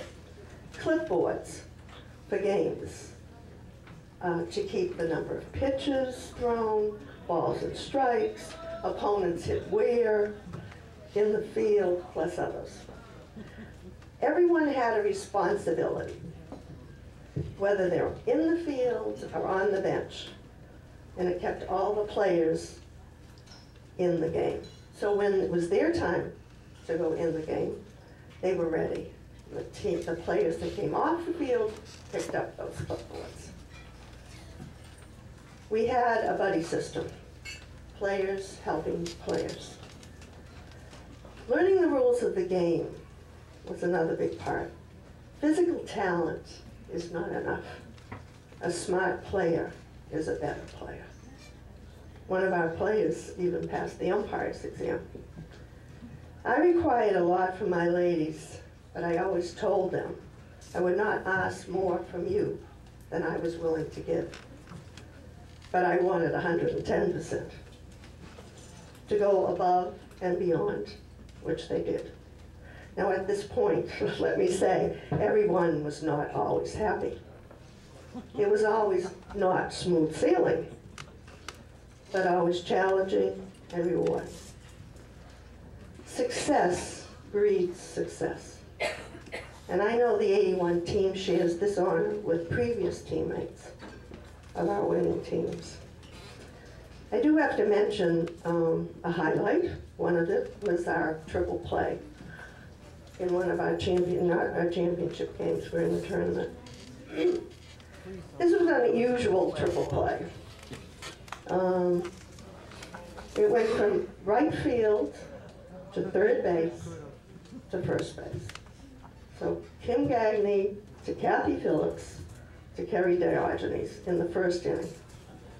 I don't know if you've ever seen one like that. I certainly never did. Please don't say it was against Westport. No, it wasn't. Sorry. Thanks, Joe. No, it was not. Um, there is not enough time tonight to say everything I would like to say about our ladies, and I know, you know, everybody has talked, and certainly um, time is winding. Um, but just like me end, you know, with this, the letters. This is what we strive for, and we accomplished. And this was a very special team. The three P's, pride, performance, and perseverance. The three D's, desire, determination, and dedication. And last but not least, team. There is no I in team. Thank you all.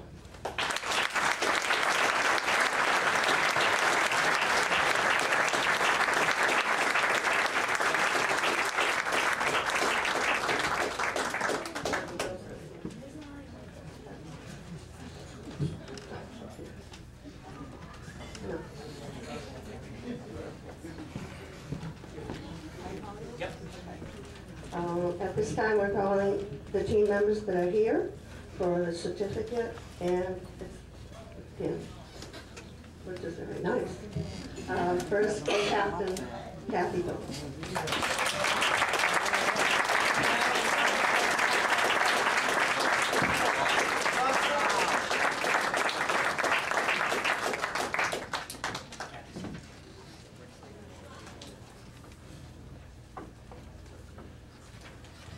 Co-Captain Lisa Tebow.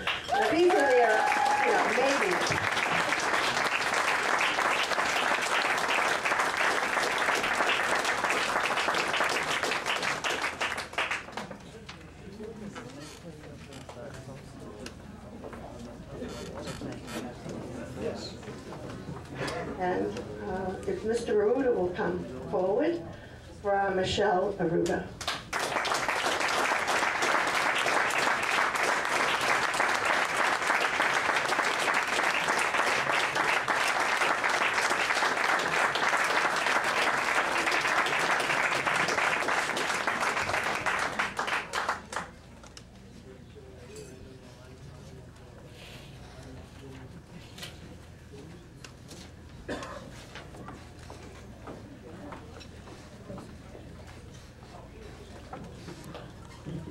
my center fielder, Lisa Blaze.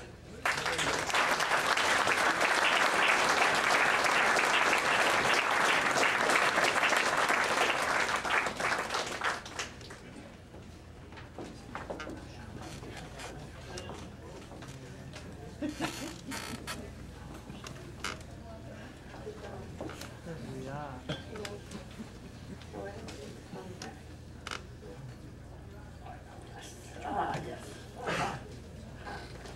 And we catcher, who I am, was very surprised and surprised and nice to hear, she's got six boys, six children. Laurie Miller.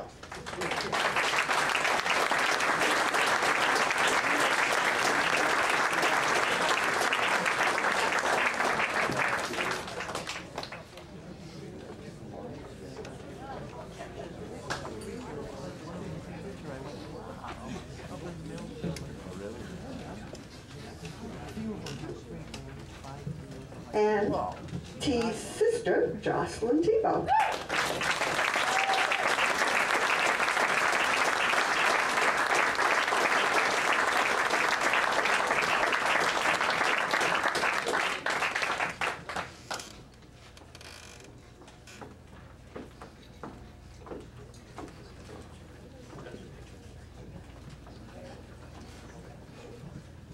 Thank you all, and thank you, ladies.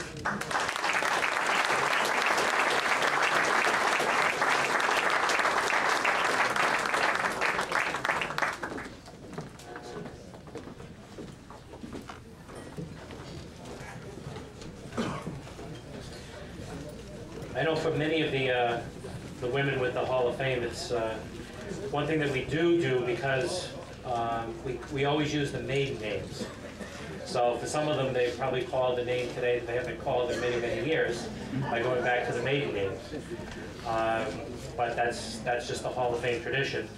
And just to just make mention, um, because it is uh, more than 25 years since, since that team played, I do know that uh, from being involved with some of them in another sport, uh, they quite a few of them became outstanding uh, women's adult soccer players.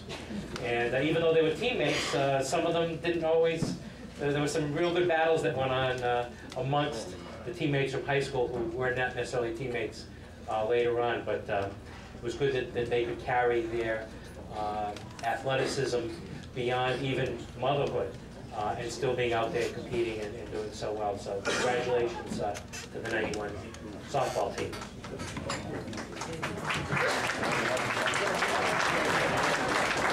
Next, next we have um, the 1991 football team.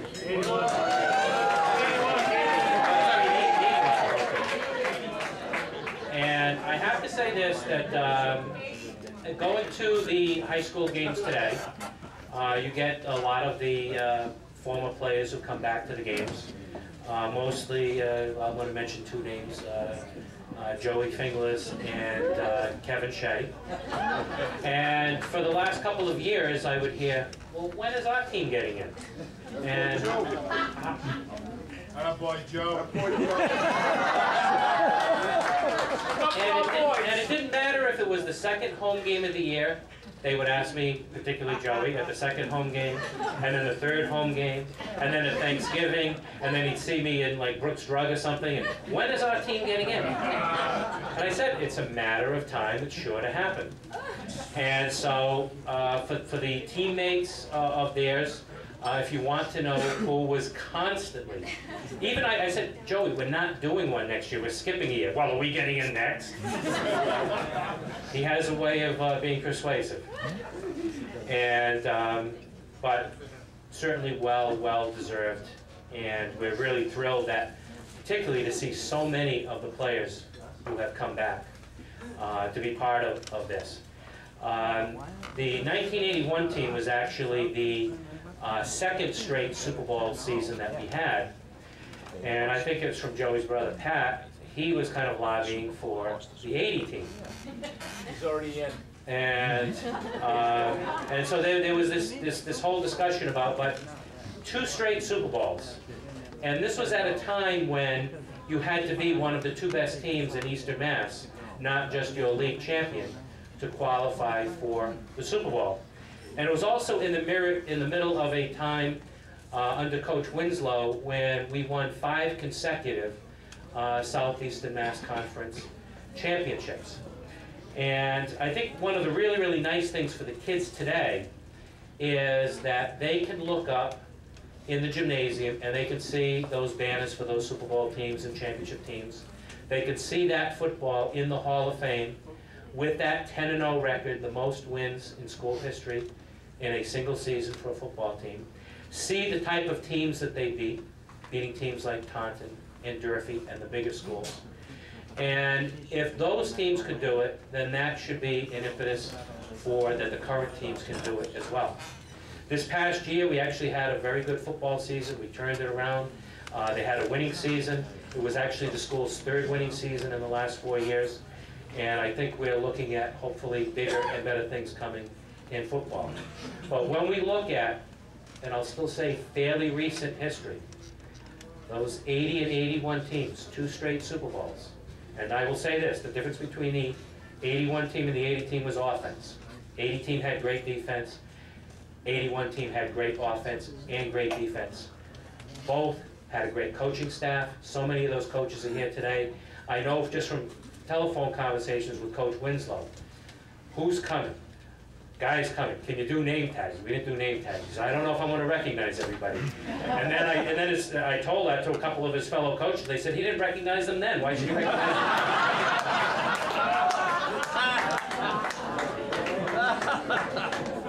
But he might not have known the names, but he knew what numbers to call and what numbers to call at the right time.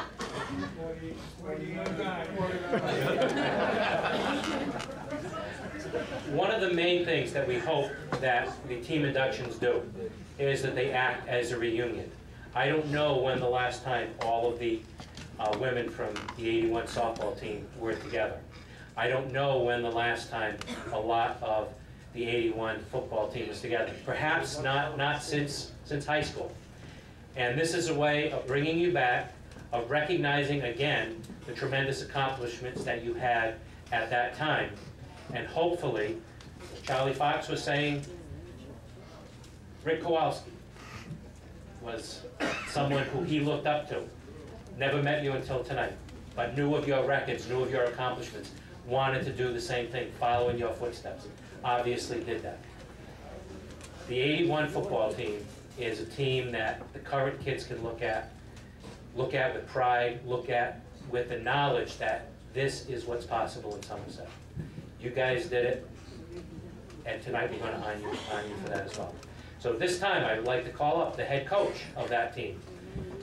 The winningest coach in Somerset football history, Coach Ed Winslow.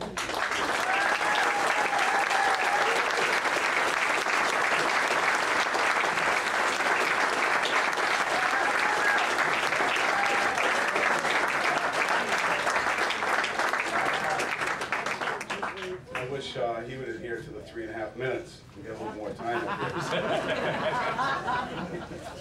Uh, In also conversations, I lost all my minutes on my cell phone when he called me. I had to listen to him the whole time. But uh, on behalf of this team, um, it's an honor for us to be here tonight and be inducted into the Hall of Fame. And uh, there's a lot, one thing unique about football is that we have athletes that are very strong as far as running and throwing and et cetera, but we have athletes that are very non-athletic, that do a heck of a job on the offensive line, that really created our, defensive line that created our team. And they have to be the most uh, unsung heroes that, um, that a football team ever has. I have to take these off. I won't be able to see you, but I can take one. Um, Mine's not long either, Mary Jane. You know, I think that, you know, you said a lot of things that are important about teamwork and dedication. But I, I thought back to what makes a championship team? And the things that came to me real quickly was this, you know, town support. You know, was supported, you know, financially, and there was never any time that we did not have what we needed to make it happen. The school committee, the superintendent, the athletic director, Dick Mahoney at that time, Principal Sal Petrello, the faculty, you know, was behind us. If I went, if I needed something run off, I go to the business department, they would take care of it. Uh, go down to Azevedo, he'd make a, a, a weight, we started actually a long time ago, we'd, uh, he made the form and we went to Rothwell's far, um, factory, made our weights for our weight room. And, you know, that was important, otherwise we wouldn't have got that far. The parents were always awesome and very supportive. You know, it started out with the talent shows in the springtime when all the athletes and adults got together, had a great time. It was a great time. The student support, always there. You know, I think that's one thing. We'd walk up from the field and we'd stand and watch the field hockey team play, and they would come down and watch us play on, um, on Saturdays. Um, my coaching staff, um, when I look back to the success and championship, I mean, I used to get up at, this is way back though, but down, go down to Marion and pick up our Super 8 film about five o'clock in the morning. And then we'd come up together, meet around seven o'clock, and and then we get done about eleven to get ready for our, you know, game the next week. And, uh, those guys, you know, without them, we wouldn't have made it as far as we did as a team. And I want to thank them all. They're all here tonight except for Bobby Tavares. Thank you.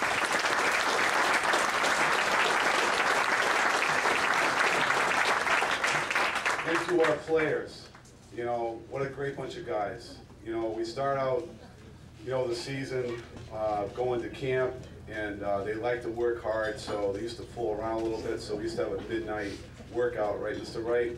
For about an hour and a half, they had a lot of energy, and we were in that SMU, it was really like a maze, and uh, they kept us awake for a long time, but we kept them running one night for a long time. And um, so, you know, that's where it really started, and then from there, you know, as a coaching staff, we didn't want to screw up this team. We say when you get great athletes, just don't screw them up. And then we try to do the best we can. I think we did a good job with that. And um, also, you go back to, you know, the intangibles that create a team. You know, we talked, I always believe in this, as positive mental attitude, to PMA. You know, that's, you know, you got to envision yourself doing the job and getting it done, and they did. And there were times when we got knocked on our butts, but we had to get back up and do it, and they did. Um, the dedication, showing up every day, working hard, as Mary Jane said, looking out for each other, executing more consistently than the other opponent, and then also having a little bit of luck. As we went down to DY and uh, going to that game, I think we, they never got over the 45 or 35 yard line to go in, but we never got over the 35 to go in either. We fumbled the ball, I think, eight times. We had eight turnovers that day. And thank God for Mr. Campbell, Coach Campbell from DY. He threw the ball on the 15-yard line with 44 seconds left. If he held on to it, he would have tied us, and we weren't going anywhere. And he threw the ball to Wayne. That's right. That just got me called.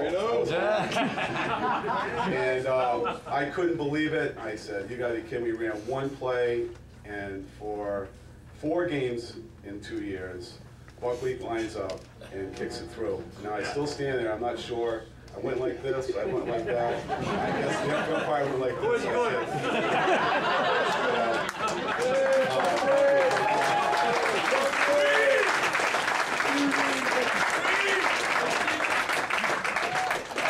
had to take him, I think, if I remember, Dick Mahoney called me up and about, somebody says, you know, he's a half a credit short. Is that true? Right, remember? And we went to summer school that summer, didn't we?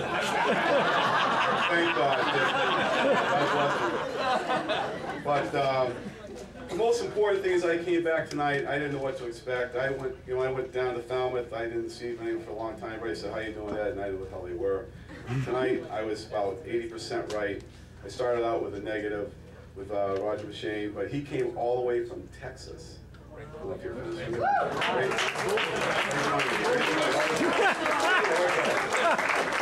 All the way up from Texas to see his friends. And um, I got it, he corrected me.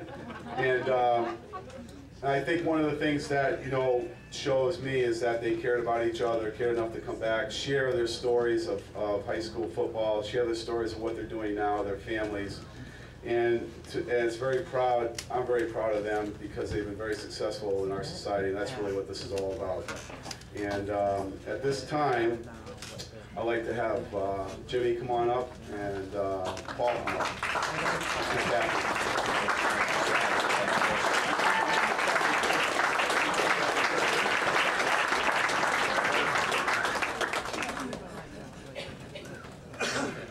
You need drugs, has them.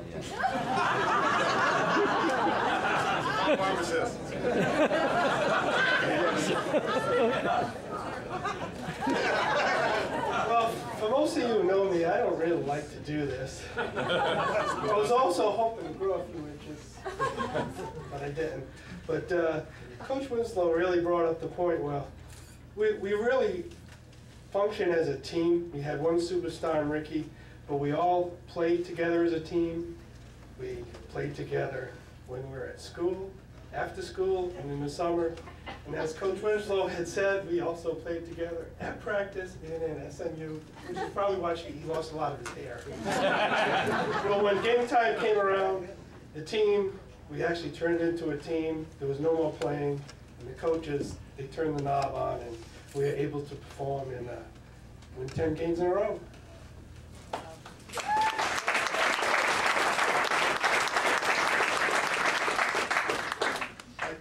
I reflect back on our time together and I think of four things that made us a successful team.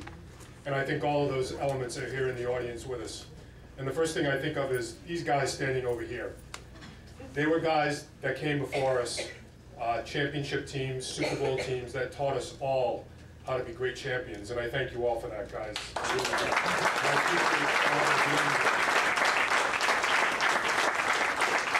I've spoken about this with, I see Eddie Keys all the time, I see many people all the time up at the baseball field, and I think one of the things that made us really successful is we truly all were great friends.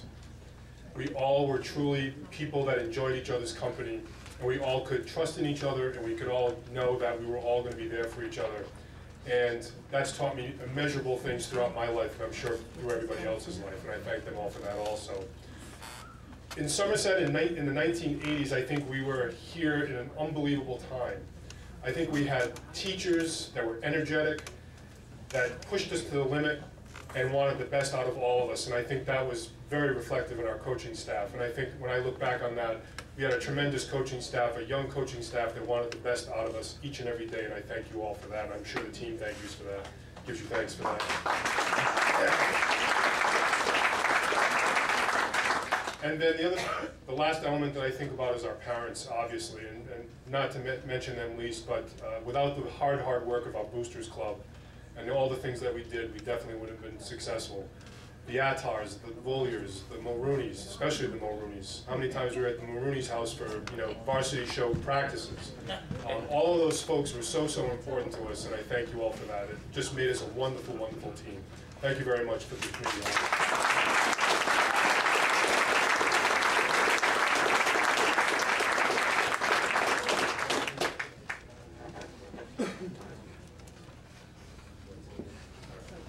Coach Soares, come on up here, you guys. I know you don't want to, yeah. Wayne Iadice? Kenny Day. No, we're gonna call him. All right, forget it, sit down for a second. Coach, sit down until the end.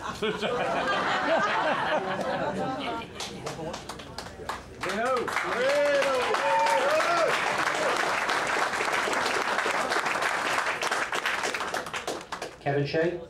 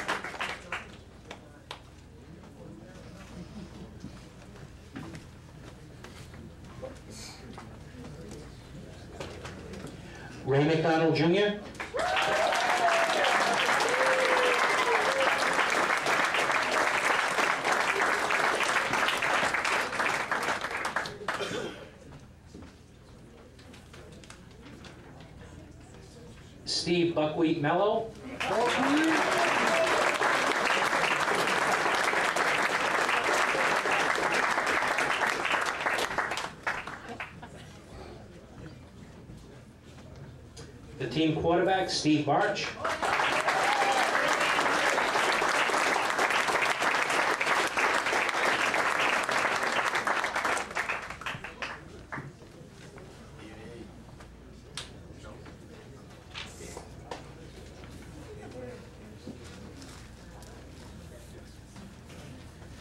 Mike Attar.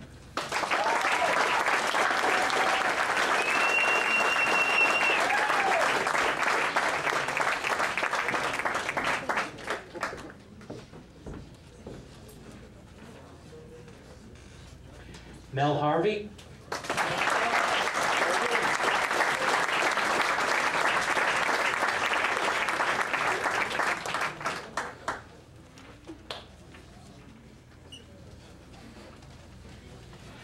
Joey Finglas.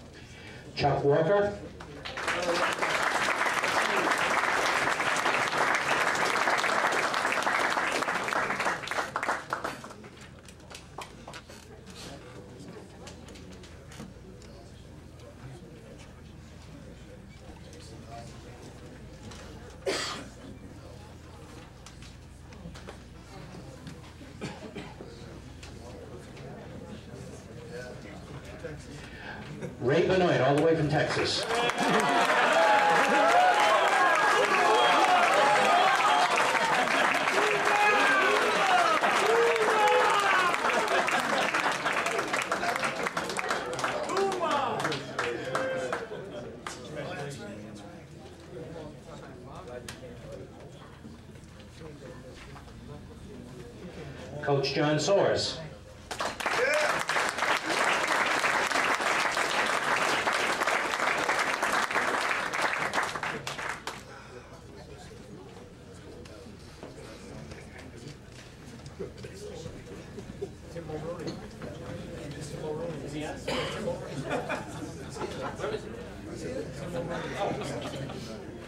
Tim Mulrooney.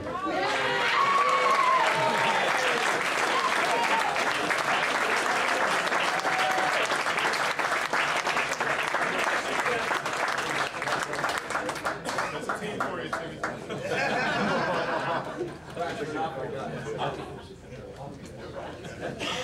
You win. Uh, Coach Ken Day.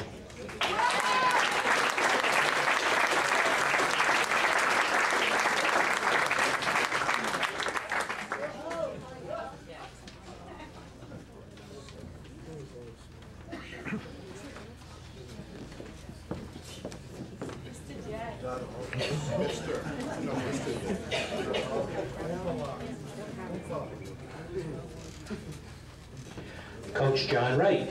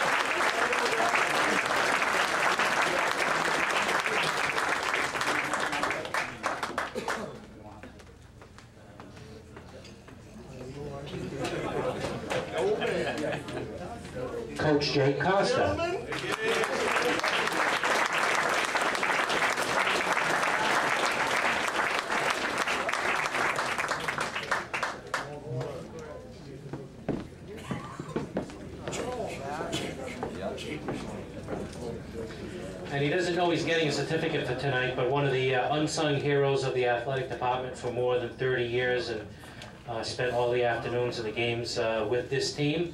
Uh, also a member of the Hall of Fame committee, that's why I'm going to tell him about this. Uh, our trainer, Coach Palm, Mike Pomelo.